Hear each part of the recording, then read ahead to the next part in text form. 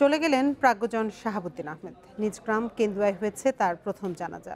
রোববার সকালে supreme court প্রাঙ্গণে দ্বিতীয় জানাজার পর বনানী কবরস্থানে চিরনিদ্রায় শায়িত হবেন তিনি।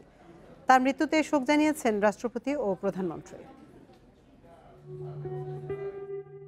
দু হাজার এক সালে বঙ্গভবন ছাড়ার পর গুলশানের এই বাড়িতে ছিল তার নিভৃত বাস। বার্ধক্যজনিত জটিলতায় বারো ফেব্রুয়ারি তাকে নেওয়া হয় ঢাকার সিএমএইচে শুক্রবার রাতে রাখা হয় লাইফ সাপোর্টে।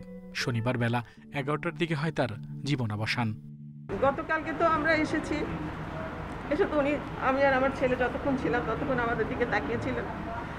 একবার আমার দিকে তাকাচ্ছেন, একবার ওর- দিকে তাকাচ্ছেন। কিছু বলতে চাচ্ছিলেন, কিন্তু বলতে পারেন নাই অক্সিজেন দেওয়া ছিল।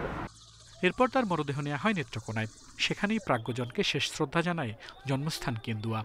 গার্ডাবনের পর প্রথম জানাজা হয়, যেখানে কেটেছে শৈশব কৈশোর, সেই বাড়ির আঙিনায়। রোববার সকালে সুপ্রিম কোর্টে হবে দ্বিতীয় জানাজা। পরে চিরনিদ্রায় শায়িত হবেন বনানী কবরস্থানে। সবাই দাদার আমার দোয়া করবেন। এটাই, আমার আসলে আর কিছু বলতে আর কিছু বলতে পারব না।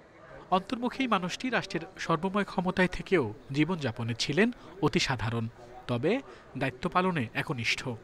আমি আল্লাহর কাছে প্রার্থনা করি তার যেন রুহের মাগফেরাত হয়। আল্লাহ যেন তাকে বেহেশতের সর্বোচ্চ স্থানে আসীন করেন। নেত্রকোনা থেকে ঢাকায় আনার পর সাবেক রাষ্ট্রপতি ও প্রধান বিচারপতির মরদেহ রাখা হবে সিএমএইচের হিমাগারে। Al Amin Hossain Independent News Dhaka